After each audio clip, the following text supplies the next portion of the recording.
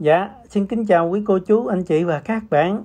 Kê bên chiếc Conago màu vàng, chiếc có ghi đông dây quấn màu xanh là chiếc Tsunoda đời 1980 ạ. À. Bán với giá là 30 triệu 360 ngàn á.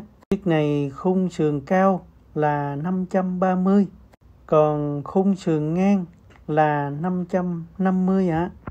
1 mét 78 và 1 mét 85 là sử dụng chiếc này vừa ạ. Dạ, quý cô chú anh chị có nhu cầu thì xin liên lạc em qua Zalo nhé. Em sẽ cung cấp hình ảnh cho quý cô chú xem thật kỹ lại chiếc này ạ. À. Còn bây giờ em chỉ quay sơ một chút chiếc này thôi ạ. À. Ngàm thắng thấy độc và ngộ quá.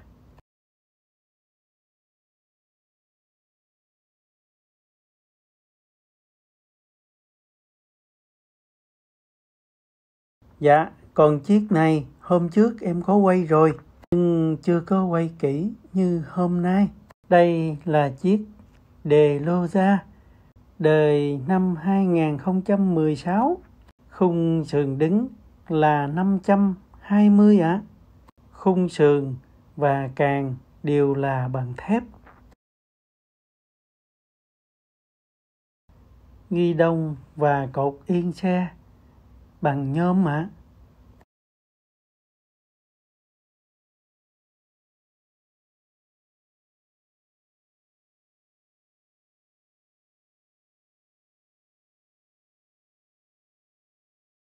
yên thời cổ xưa vẫn còn đẹp quá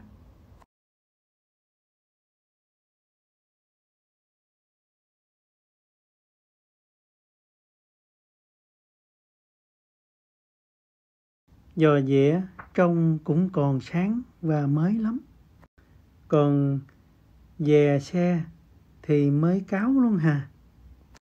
Chiếc đề lô ra này, quý cô chú, anh chị và các bạn có chiều cao 1m65 và 1m73 là chạy vừa chiếc này nè.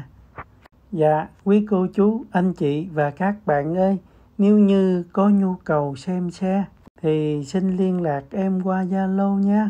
Em sẽ cung cấp hình ảnh và cấu hình của xe cho quý cô chú, anh chị và các bạn xem lại một lần nữa hả?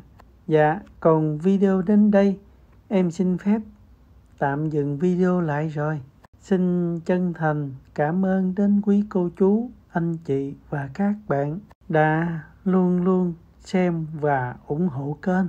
Xin kính chúc quý cô chú, anh chị và các bạn thật dồi dào sức khỏe và đạp xe vui vẻ mỗi ngày ạ. À. Em xin kính chào và hẹn gặp lại trong video tiếp tới ạ. À.